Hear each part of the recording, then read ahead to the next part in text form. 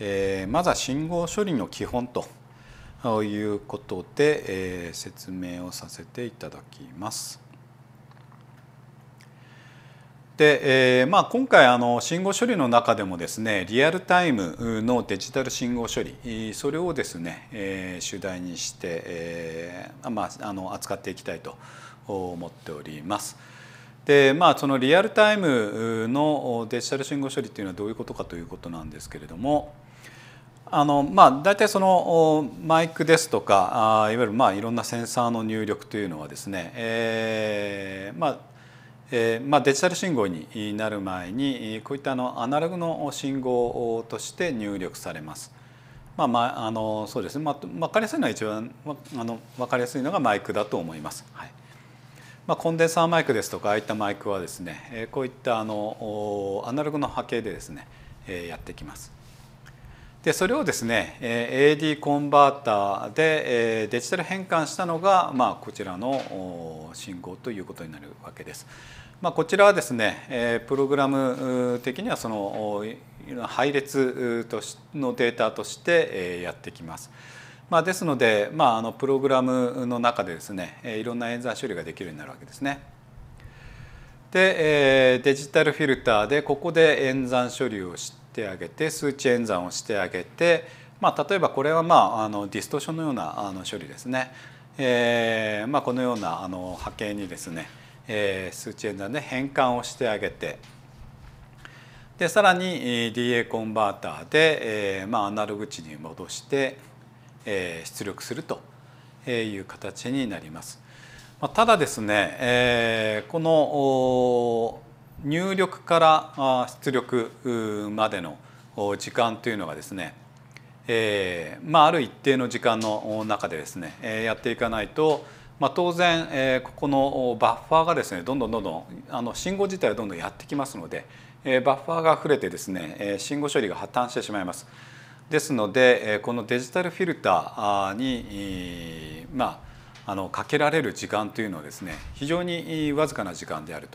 というところがあの理解いただけるかなと思います。で、えーまあ、このあのデジタル信号処理を行うにあたってですねいくつかパラメータをですね扱います。で、まあ、その代表的なものをですねここに挙げています。で、えーまあ、まずはですね一番重要なのがこの、まあ、デジタル化されたデータの収集時間ですね。えーまあ、あの時間って書いてありますけども基本的にはこのサンプリング数ですね、えま、サンプリングそうですねサンプル数といった方がいいですかね、えー、そこがですね、えーまあ、演算の対象となるデータ列というふうになります。あといろいろな演算をしていくにあたってですねこういったサンプリング感覚ですね、え、そこがですね非常に重要になってきます。で、えまあ、サンプリング感覚っていうのはですね、えーまあ、このデルタ t を扱うというよりかはあの計算上はですねこのサンプリング周波数1秒間に、えーまあ、どれだけの数のデータを、まあ、サンプルできるか出力できるかというところの数値をですね、えー、よく使います。でサンプリング間隔とサンプリング周波数の関係は、まあ、あのこのような感じですねあの逆数の関係になります。で、えー、サンプル数に関してはあ、まあ、n で、まあ、この時間サンプリング間隔を時間で割った数があのサンプル数になるんですけれども、えーまあ、ただ多くの場合はですね、えー、時間で、えーえーまあ、このサンプル数を決めるというよりかはどちらかというと、えー、あれですねあのまあ、その CPU ですとかマイクロコンピューターの、えー、メモリーリソースですとかあと計算能力、えー、そこでですね決められることが多いです。はい、あと最後重要なのはそのデータ分解能ですね。で音のデータの場合はですね多くの場合16ビットを使うことが多いです。まあ、ただですね、えーまあ、ハイレゾの音源、えー、としたい場合はこういった24ビットを使う場合も多いです。まあ、ただ24ビットの場合はちょっとその分メモリーあのデータまあ演算対象となるデータのビットとしては32ビットになってしまいますので、えー、結構メモリーを食ってしまうので多くの場合その16ビットを使うことが非常に多いです。はい、ですね。で、えー、まあそれじゃあどれぐらいの時間がですねデジタルフィルターに、えー、あのかけられるのかというところなんですけれども、まあ、先ほどのパラメータを使うとですね、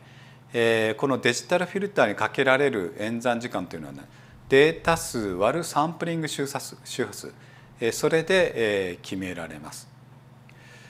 で、えーまあ、この AD コンバーターと DA コンバーターあここにかかる時間はどうなんだっていうところちょっと気になる方もいらっしゃると思うんですけども、まあ、ここはですね大体ハードウェアでねあの処理されるところになります。え、なので、えまあ、ここはあのコントロールすることができないということとそれからあと、まあ、ある一定値、まあ、かなり短い時間でですね最近はあの処理できるようになってますので、まあ、あまり気にする必要はないと思います。まあ、ただあの遅延時間というところにすごいシビアなアプリケーションの場合はですねこの AD コンバータにかかる時間 DA コンバータにかかる時間というのをですね、ま、例えばオシロスコープなどを使ってですね計測するということをしていただくのがいいかなというふうに思います。で、えー、まあまあそれを考えて、まあ、あの主に、まあ、我々が気にしなくちゃいけないところはですねここのデジタルフィルターにかかる時間なんですが、えー、ここの時間、まあ、このあの数式で計算するとですねでた例えばあのデータ数を1024個にした場合でサンプリン周波数が 48kHz の場合なんですけども、えー、あすみませんこれ AD 変化の時間じゃないですね、えー、っとこのデジタルフィルターにかかる時間というのがですね大体21.3ミリセックですね。なのでこの21.3ミリセックの間で、えこういったあのフィルター処理を行わなければならないということになります。で、えー、まあ先ほどのはちょっとディストーションのようなですねちょっとアンプをかけるようなフィルターを例にとったんですけれども、まあ、一般的にそのデジタルフィルターと言われているものはどういうものがあるかということなんですけれども、まあ、大きく3つあります。でここら辺は皆さんも本当によくご存知のところかなと思います。えー、まあ1つ目はですね、えー、ローパスフィルターですね。これはあの周波数の低い領域の信号だけを通すというものです。例えば ABC という観測点があったとすると、まあ、A の信号はですねそのままあの通します。これ周波数の低いところですね。で B の領域のところはあのまあ、信号があの減衰される形になるわけですね。で C の部分に関しては信号が遮断されるという形になります。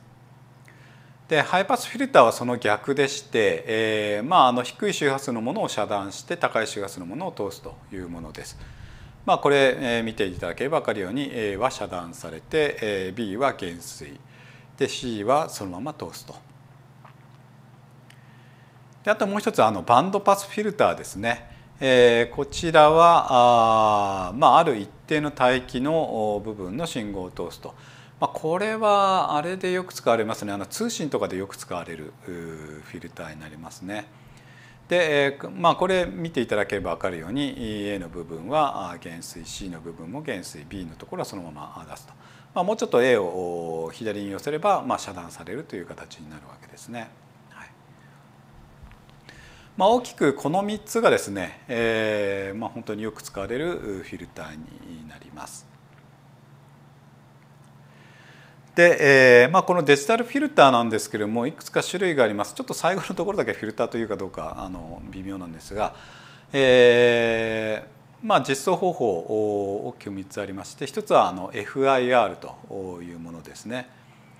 で、えー、こちらは finite impulse response filter の略でして、えーまあ、これ構造はですね、後ほどご紹介します。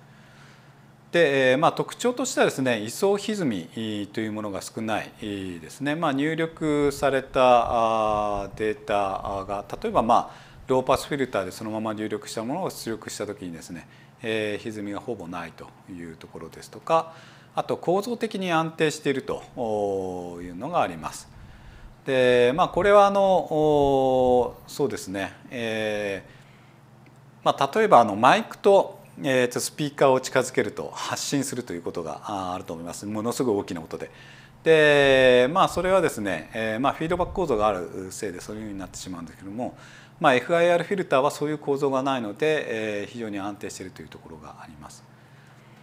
で欠点としてはですね演算量が非常に多い、まあ、メモリーとそれから演算する量ですねそれが非常に多いというところがあります。まあ、特にあの良好なですね、えー、特性を得ようと思うと、まあ、かなりの演算量が必要になります。で、えーまあ、その演算量が多いということはもうそのまま遅延が多いというところになります。なのでちょっと遅延を嫌うようなですねそういったアプリケーションの場合はちょっと FIR はちょっと向かないかなというところがあります。で一方 IIR フィルターというものもあります。これ Infinity Impulse Response Filter の略でして、えーまあ、これはですね演算量が非常に少ないということ、まあ、あのそれイコールあの高速処理が可能であるということと、まあ、それに加えて遅延も少ないというところがあります。でただですねこの IIR フィルターの場合はですねえーまあ、フィードバック構造を持っていまして、えー、それによってですね位相歪みが発生します。からあと先ほど言ったマイクとスピーカーをですねこう近づけると発信するみたいなあのもの例えを申し上げましたけれども、まあ、この IIR フィルターもですね、えーまあ、フィードバック構造を持っているがゆえにですね発信する可能性があるので、えーまあ、使い方とそれシステム的にですねいろいろ考慮する必要があります。で、えー、最後はちょっとフィルターというにはちょっと微妙なんですけれども、えー、まあ皆さんあのご存知おそらく皆さん大好きなあの、えー、フリー変換ですね。えー、でこれはですね、えーまあ、音をですね周波数領域に変換をしてで周波数領域で、えー、いろいろですね演算をするということができます。でですので、えーまあ、FIR、IIR フィルターと違ってですねある特定の周波数帯域だけ狙い撃ちしていろいろ処理をするということができるようになるんですね。なので非常にあのきめ細かいフィルター処理が可能になります。で、えー、欠点としてはですね、えー、まあ処理が複雑というところですね、まあ、非常にあの演算量が多いというところがあります。からと、まあ、演算量が多いイコール演算に必要とするメモリの非常に多いというところ。からあと計算にやっぱり時間かかりますのでちょっと遅延が発生するというところも欠点としてあります。まあ、ただですねこの FIR フィルター並びにこの、まあ、ショートタイムフーリエ変換ですねそこに関してはですねスプレッセンスの場合はあの非常にあの高速で処理できるということと、まあ、こういったあのまあ、リアルタイム処理をするようなプロセッサーの中ではですね比較的メモリーも多いというところもあってですね結構ここら辺の FIR それから STFT といった処理というのは非常にやりやすいプロセッサーとなっています。で、えーまあ、デジタルフィルターの構造ですね、えーまあ、こちらの分かりやすい図にしてみました。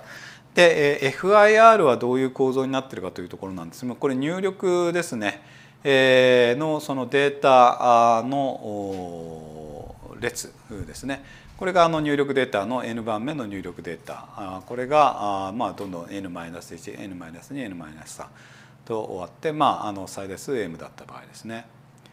で、えーまあ、それぞれにですね係数をかけて合算したものを出力とするというふうになっています。まあ、式にするとこんな感じですね。で、えー、IIR フィルターはですね、えー、これのまさに逆になります。でえこれはですね出力データをバッファリングしておいといてですねえその出力データに係数をかけてえこの入力データと合わせて出力するということになります。まあ、なのでですねえここの出力データをがですねえどんどんどんどんその増幅していくような場合はですねどんどんここの出力もですね、えー、まあ、あの上がっていってしまいますので、まあ、それで発信してしまうというところがあるんですね。まあ、ただあの本当にあのこれはですね少ない時数で、えまあ、吸収のフィルター特性が得られたりですとか、まあ、あと、えー、後ほど説明する、えー、バイクワットフィルターという IIR フィルターのちょっと変形のものがあるんですけども、えー、それですとですね非常にあのフレキシブルにいろんなフィルターが実現できるという利点があります。まあ、高速で、えー、かつ遅延も少なくえー、そうですね、えー、まああの結構簡単にいろんなフィルターを実現できるフレキシビリティもあるというところで、えーまあ、意外とですねこの IIR フィルターあ広く利用されています。で、えーまあ、それぞれのそのデジタルフィルターの特性なんですけれども、えーまあ、よくあのこういったあの信号処理のところにインパルス特性というところを、まあ、扱うところが扱うことが多いと思います。で、えー、実はこのインパルス信号のですねこの出力がですね先ほどの係数の値、えー、それになります。でなおかつこれをですね、えーまあ、あの周波数領域にマッピングをしたものがえこういった振幅特性等になるわけですね。まあ、位相特性も得ることができるんですが、まあ、なのでこのインパルス信号を与えることによってですね、えーまあ、これはあの例えばまあ実験的にえー、こういったあの係数を求めていったりですとかああとこういったあの振幅特性それから位相特性といったものを求められるというものになっています。なので非常に重要なものですね。で、えー、ただちょっと IIR の場合はですねちょっとあの様子が違っていてですねこれ、えー、まああの出力をそのままフィードバックを加えますので、えー、ずっとですねその余韻が残ると。まあまあ、ずっとやっていくとその減衰量に応じてですねどんどんどんどんゼロに近づいていくということになるんですけれども、えーまあ、そういう特性を持っていてですね、えーまあ、これ無限長ということで先ほどの Infinite Impulse Responseの略で IIR と呼ばれてるんですね。でこれはちょっと FIR と違ってですね、えー、先ほどとちょっとそうですね、えー、いろいろとあの係数の値等はですねまた別の求め方という形になります。まあ、この振幅特性は少ない次数で急収なフィルターが特性が得られるというところがあるんですけども、まあ、ただ IIR そのものを使うというよりか後ほど説明するバイクワットフィルターですねそれを使うケースが多いです。まあ、それですと本当に非常にフレキシブルな、フィルターをいろいろ作れるというものになってます。であと位相特性ですね。で位相特性はですね FIR の場合はこの直線位相というふうに言われています。でこれってどういうことなんだろうというふうに思う方いると思いますけれども、えまあ FIR のフィルターの構造上ですね遅延量というのは常に一定なんですね。で一定ということはですね低い周波数の場合遅延のその位相のずれというのは当然少ないです。まあ、例えばここですね、まあ、ある一定量の遅延量になるわけです。でこれがどんどんどんどん周波数が高くなっていくとですねここの山がですね小さくなっていくんですね。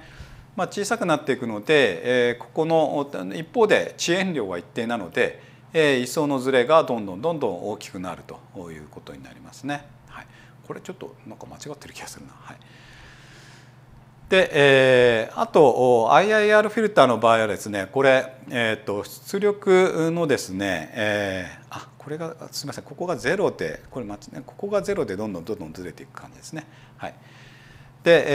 えー、これ出力がですね入力にこうフィードバックがかかってしまいますので当然ですね、えー、波形が崩れちゃうんですね。まあ、それによってですね、えー、位相がずれるということでこういったあの直線的なものにはならないんですねこういったなだらかな感じになったりする場合もありますし、えー、もうちょっと奇怪な形の位相特性をあの、まあ、この波形によるんですけれども、えー、そういったあの特性を持つものもあります。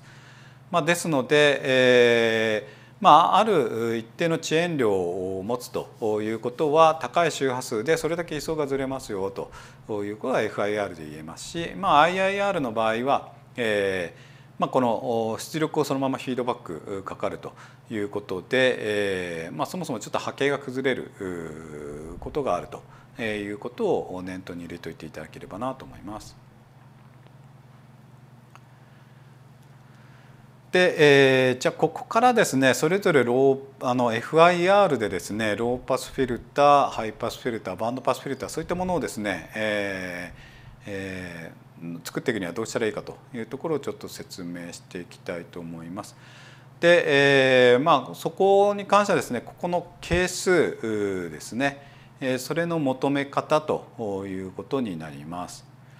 で、えーまあ、こちらはですね、まあ、多くの文献で、えー、あるようにですね、えーまあ、こういったあの式があのもうすでに、まあ、先人の知恵といいますか、えーあのまあ、定義されています。ですので、えー、それをですね、えー、そのまま使っていただくのでいいのかなと思います。まあ、もちろんですね先ほどのインパルス応答を見てですね実験的に求めていくっていうのも一つあの、えー、まああのまあ面白いアプローチかなとは思いますね。えー、でここに関してなんですけれどもここの係数の部分ですね、えー、ここはちょっとあの注意が必要で、えーまあ、先ほどちらっと見せましたけれどもここの係数実はこう、えー、まああるまあ、あのそうですねあの加藤周波数中心にしてですね左右対称の形になってるんですね。なので、えー、ここの計算式もですね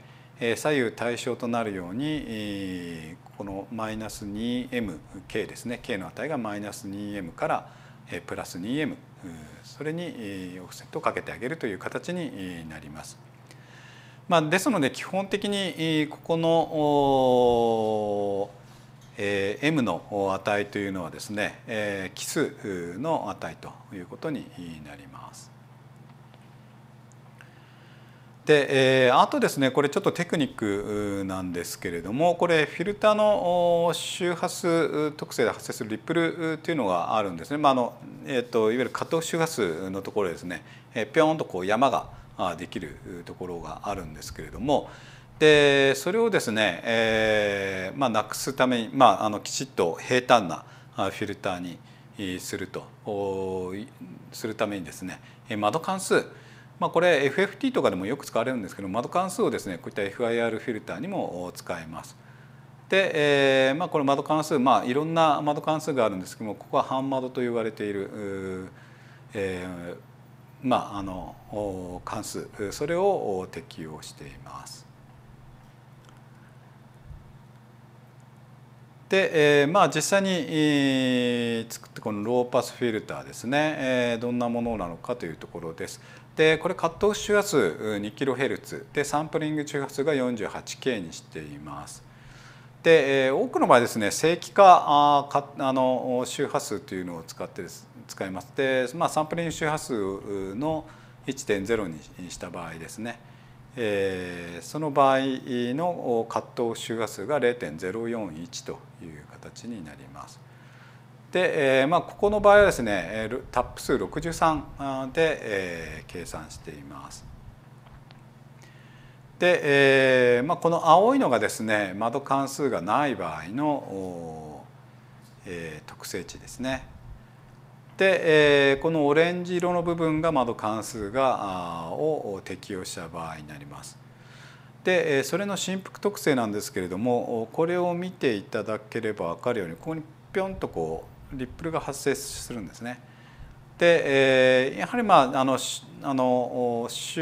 デジタルフィルターというところにで考えるとですねこういったリップルがあるとここの部分がですね、え、増幅されちゃう形になってしまいますので、え、まそれを消すためにですねこの窓関数を適用します。そうするとちょっとなだらかな感じの、え、周波数特性、えー、振幅特性、え、それを得ることができるようになるわけですね。で、えーまあ、あとはですねここら辺ちょっとあのバンあのハイパスフィルターあバンドパスフィルターといったところも全て窓関数を適用したものになります。で、えー、こちらは 1kHz 先ほど 2kHz のローパスになりましたこれこの場合は 1kHz のハイパスの場合ですね。で、えー、正規化カット周波数は先ほどよりも当然小さくなります0.02ですねで同じくタップ数で窓関数はこれを適用した結果はこちらになります。まあ、先ほどのあのローパスに比べるとかなり急峻な感じになっているのが分かると思います。こちらはの係数値ですね。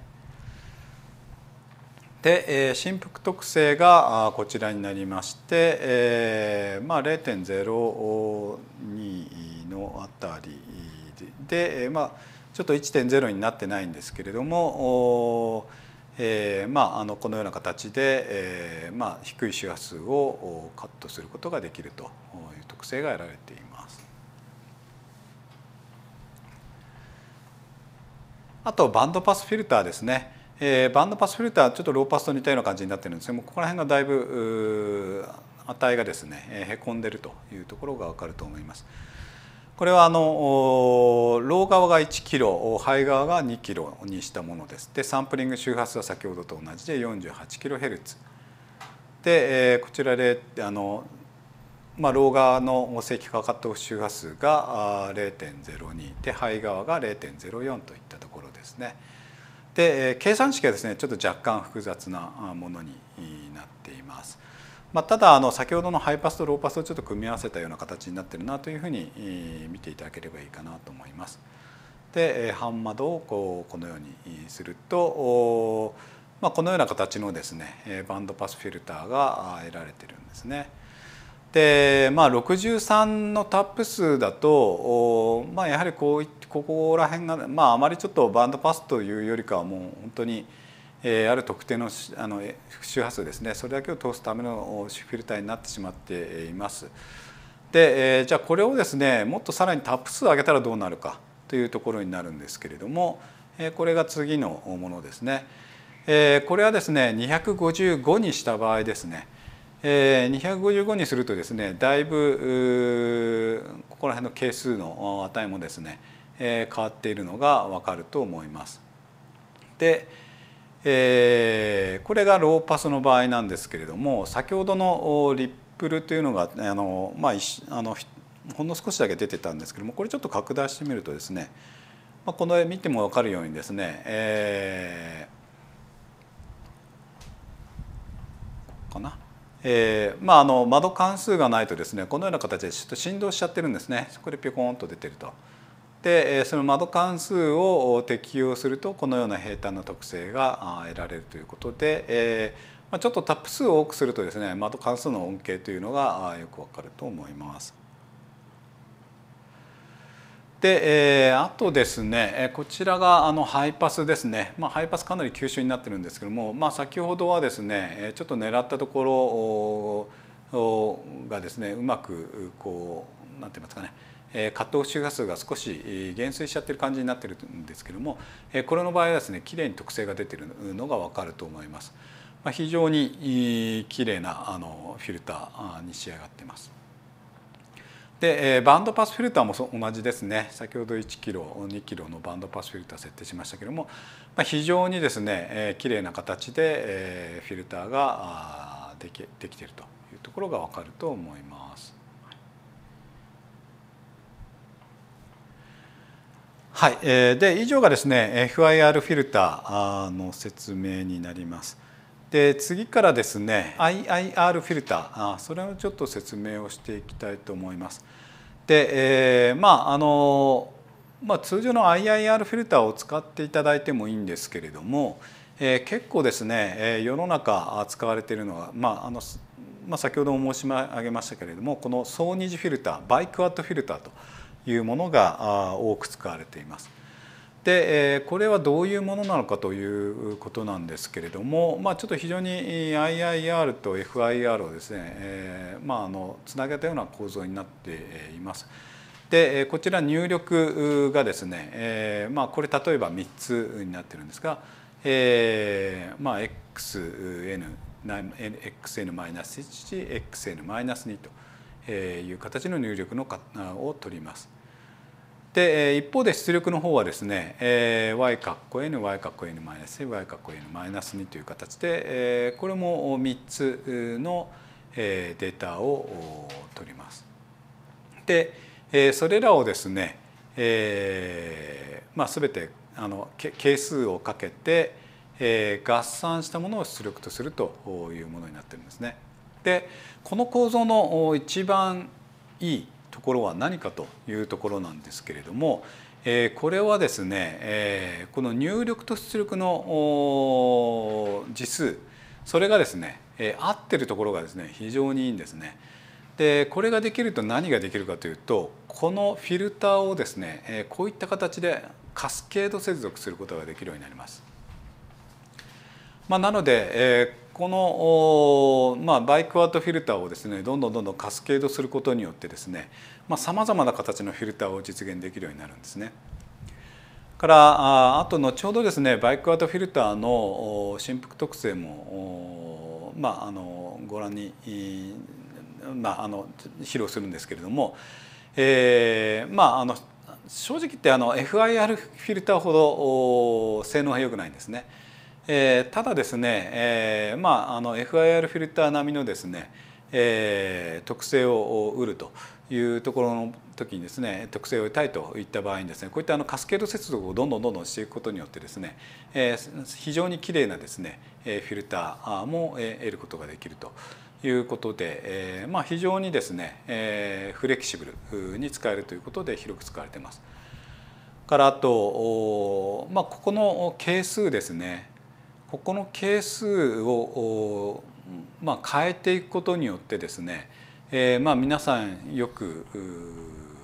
まあ、あの使われていると思いますけれども、まあ、バターワースフィルターですとかチェビシェフフィルター、えー、ああいったものもですね、えー、実現できるということで、えー、非常にあの使い勝手がいいということでもう本当に世の中多く使われています。で、えーまあ、このバイクアートフィルターでですねローパスフィルターを作るにはどうしたらいいかというところなんですが、えーまあ、こちらもですね、えー、この係数の求め方というのがですね、えーまあ、いわゆる定石といいますか、えーまあ、こういった公式でですね定義されています。で、えーまあ、必要な係数はですね A0 ですねこれが分母の値になります。で、えー、まああの出力じゃ入力ですね入力の係数にかける B0B1B2 からあと出力の係数にかける A1A2 ですね。えー、それをこの6つの係数をですね求めて、えーまあ、それぞれローパスフィルターですとかハイパスフィルターのところに値を入れてあげると。でローパスフィルターの場合はですねここの α というところが結構ポイントになってます。でここにあの吸値というものをですねかけます。まあ吸値には結構あのアナログフィルターでよく使われるものなんですけれども、えー、まあフィルターのですねその何て言いますかね、えー、急春度を見るというものと思っていただければいいかなと思います。でこの α をこの吸値でですねあとサインのこのカットオフ周波数の部分でまああのこのサイン値をこの2級で割ることで得ることができます。で1プラス α というのはこの A0 の値になるんですね。であと B0B1B2 というのはこのカットオフ周波数に応じたあの三角関数の公式でこういった形で求めていきます。で A1 も同様ですね。で A2 は1マイナスバルアルファというものを代入していきます。でそうするとですね特性がですねこのような形で得ることができます。でこれ一番上がですね吸値を2にした場合ですねでこれ見ていただければ分かるように非常にですね、えー、まああの加藤周波数のところでぐっと原因が持ち上がってストーンと落ちるというような特性を得られています。まあ、なので、えー、まあちょっと IIR フィルター使う際はあのこういったあの出力にも原因がありますし位相歪みもあるというところもあってですね、えーまあ、そういった部分をちょっといろいろ注意しながら使う必要があるかなと思います。で、えじゃあ Q1.0 になった場合はどうかというところなんですけども多少持ち上がってあとなだらかにこう下がっていくという感じでですね、えー、まあ FIR ほど結構急峻な感じではないということが分かると思います。まあ、ただ先ほど申し上げたみたいにそのカスケードでですねどんどんどんどんつなげていくことによってですねこの特性というのを変えていくことができるようになります。ですね。えーまあ、これがローパスフィルターの大体の特性になります。だあの1段にした場合ですね。はいで、えーまあ、ハイパスフィルターですね、まあ、こちらはですね、えーまあ、だいぶなんて言いますかねあの、えーまあ、0ヘルツからの隙間も少ないということでですね非常に良好な感じになると思うんですけども、えー、ハイパスのこのカットオフ周波数をどんどんどんどん上に持っていくと、えーまあ、先ほどのローパスみたいなようにちょっとなだらかな感じになるというところはあの頭に入れておいていただければなと思います。でこちらもローパスフィルターと同じようにですね吸値を使う形になります。で α は先ほどと同じですね。で B0B2 の係数の値ですねそれをちょっと変化させる必要があります。ここですね。他は同じになります。で、えーまあ、これをですねこの式に入れてあげて振幅特性を求めてあげるとですね、えー、これ吸値が2の場合はこうストーンとグッと持ち上がってストーンと下がるというような形になりますね。で、えー、まあ1.0の場合がここですね、まあ、結構比較的良好なあのハイパスフィルターの特性を持っているかなというふうに思います。で、えー次はバンドパスフィルターですね。で、えー、バンドパスフィルターはですね先ほど吸値というものをですね使ったんですけれどもここはですね、えー、吸値というものを使わずに、えー、バンドワイドスという変数を使う形になります。で、えー、アルファがですね非常に複雑な式になってますね。えー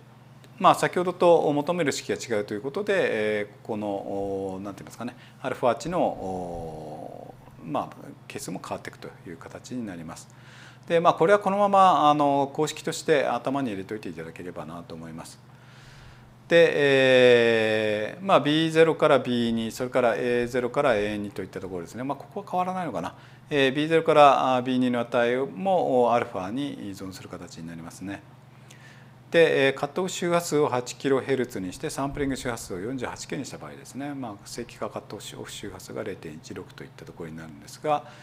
えーまあ、このような形のですねフィルターを得ることができます。まあ、山なりという感じになりますので、えーまあ、FIR みたいなその台台形といいますかねああいった特性とはちょっと異なる感じになってしまいますね。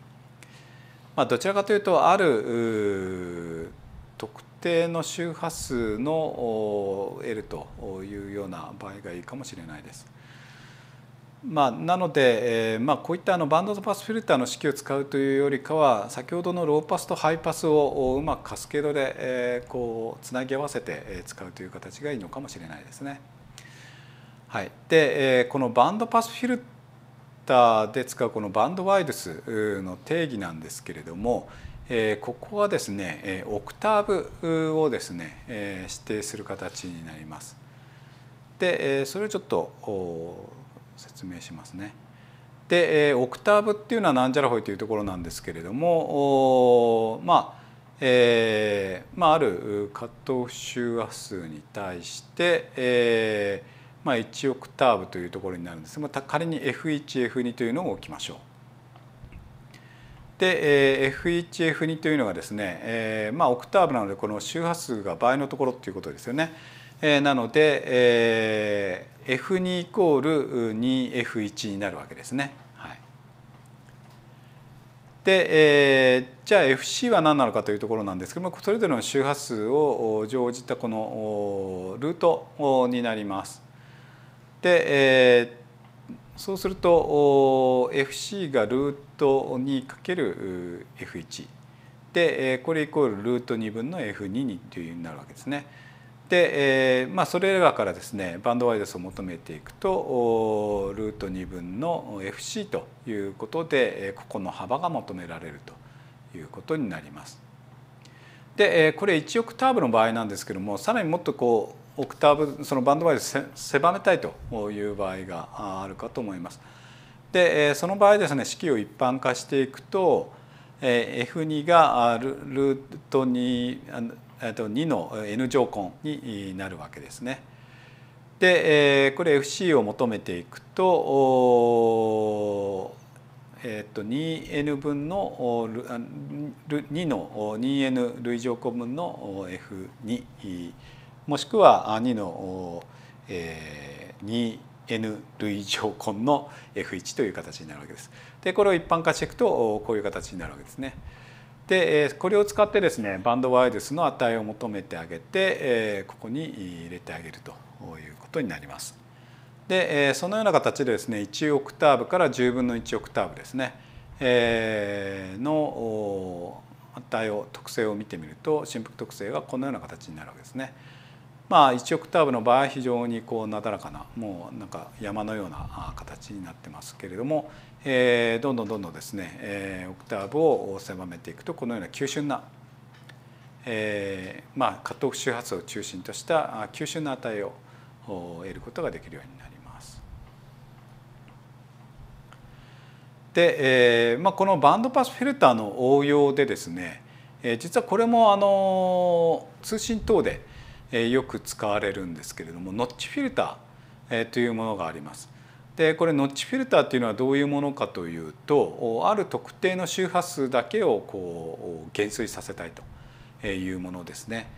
えーまあ、例えばあの基板等にですね、えー、ある一定の周波数、まあ、クロックがですね、えー、乗っちゃってそれがノイズとして、えー、乗ってしまうと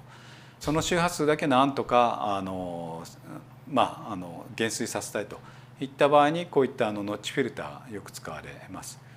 で、えー、ノッチフィルターも先ほどのあのバンドパスフィルターと同じようにですねこのバンドワイドスで、えー、を指定することで、えー、得ることができます。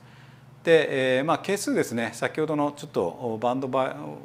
バンドワイドスじゃねえなあのバンドパスフィルターとちょっと異なる値になってるんですけども、えー、まあ B1 のところにカットオフ周波数がこう関係してくる感じですね。えーはい、であと AHA2 というのは変わらずという感じです。でこれをですね、まあ、8キロのカットオフ周波数 48K のサンプリング周波数ですね。えー、それで振幅特性を得るとですねもうこのような例えば、えー、10分の1オクターブかなり、えー、急峻な、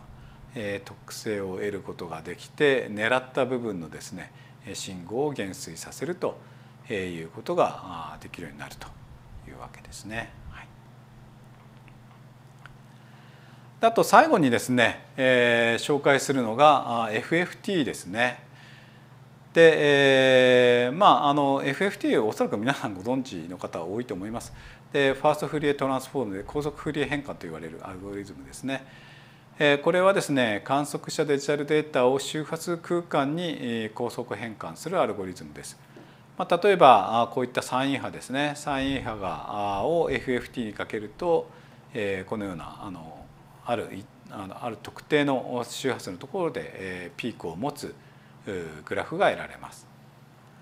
でもう一つは、まあ、例えばあの2つの周波数がこう頂上されているような場合ですねえー、そういった場合 FFT をかけていくと、えーまあ、2つの周波数のピークが得られるというようなものですね。まあ、これは非常にですね世の中広く使われているものです。で、えーまあ、この FFT を使う際にですね、えー、重要になってくるのがあ、まあ、サンプリング周波数とサンプル数ですね。えー、そこがあの重要になってきます。なのでプログラムする時もですねこの2つは必ず指定する形になります。であと重要なのはですねこのサンプルサンプリング周波数とサンプル数でですね周波数分解能というのがあの決められます。このデルタ F ですね。で、このデルタ F は何なのかというところなんですけれどもここの周波数の、間隔ですね。ですのでサンプル数が多いとより細かくですね周波数を見ることができますしサンプル数が少ないとですね大雑把に、まあ、例えば 100Hz から 200Hz の間の何て言いますかねあの電圧振幅えそれを得るみたいな感じでですねえ結構大雑把な値しか見ることができないというところで、えまあ、分析したいその周波数の流度によってですねこのサンプル数も決められていく形になります。あと、まあ、あのデジタル信号ですね、えそちらを使われている方はもうあのよくご存知だと思いますけれどもナイキストの原理でですね、えー、まああの2分の1をサンプリング周波数の2分の1以上の周波数はえー、まあ解析できないというものがあります。はい、なので、えー、まあフーリエ変換もですね、えー、ここの2分の fs それが周波数の上限ということになります。まあ、ただですね、えー、一般的にですねこういったあの信号解析ですとか振動ですね故障解析する場合はですねえーまあ、2分の FS のここら辺の辺りもですねちょっと折り返しがの信号の影響が出るということが、まあ、いわゆるエイリアス信号と言われるものですね、えー、が影響が見られるということで、えー、多くの場合その2.56分の1の,、えーまあ、あのサンプリング周波数の、えー、周波数が上限というふうによく言われていますね。まあ、なのでこれ FFT でいろいろ解析する場合は2あのサンプリング周波数の2.56分の1それがまあ上限なんだなというのをちょっと頭に入れておいてもらえればいいかなと思います。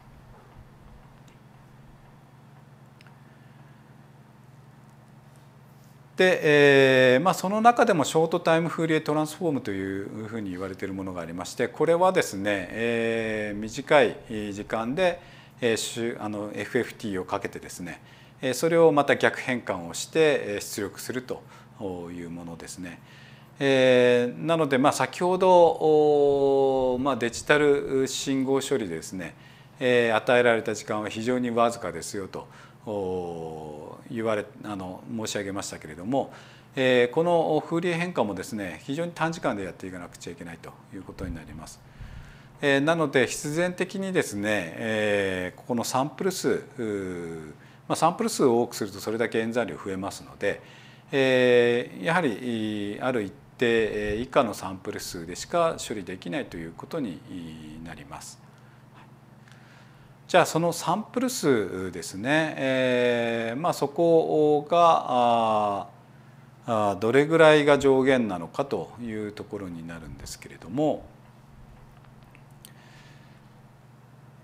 えーまあ、こちらのヤマハがですね、えー、楽器演奏、まあ、これあのリンク貼ってありますのでそれを見ていただければと思うんですけども、えー、楽器演奏をした場合のその遅延量ですね、がどれだけ許容できるかという実験を行ったものがあります。まあ、非常に興味深い論文でして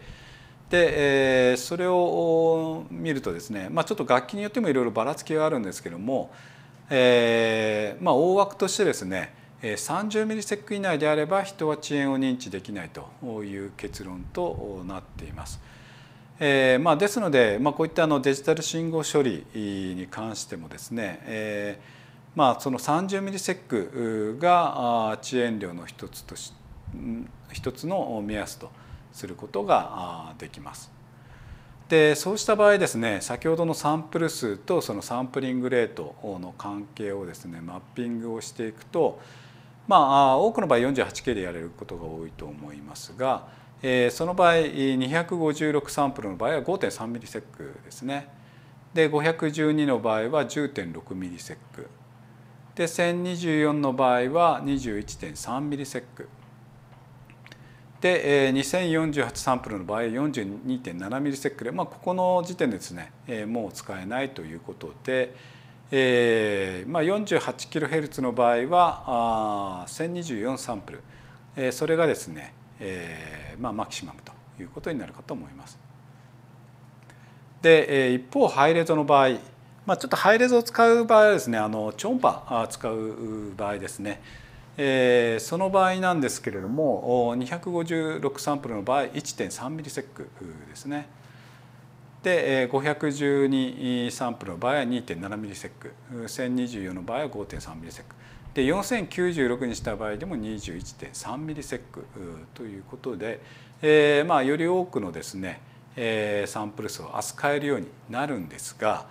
えー、ちょっとこの表をですね裏返してみるとですねデジタル信号処理例えば 48kHz の256サンプルの場合5.3ミリセック以内でやっていかなくちゃいけないんですね。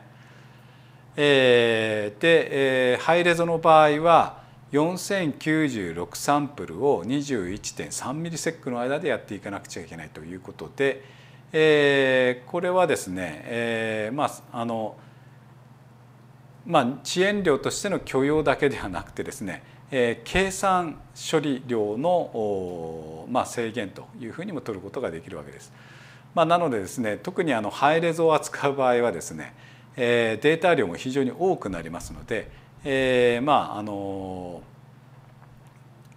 まあ、十分あのここのサンプル数というのは注意して設定するというのが必要になるんですね。はいまあ、少なすぎてもきついですし多すぎてもきついと、まあ、あのいうことで、まあ、あの良い頃合いのですね、えーまあ、サンプル数を、えー、そのやりやりたい処理の中でこううまくバランスをとって見つけていくということが必要になるわけです。で、まあ、ちょっと私が結構あの毎回毎回ここら辺のデジタル信号処理のお話をする時にですね参照しているのがこちらの本ですね。えー、まあ音声音響信号処理の基礎と実践フィルターノイズ除、まあ、今回ちょっとノイズ除去に関してはやらなかったんですけれども、えー、あと音響エフェクトあの、まあ、音響エフェクトの今日の内容もですねこちらに記載されています。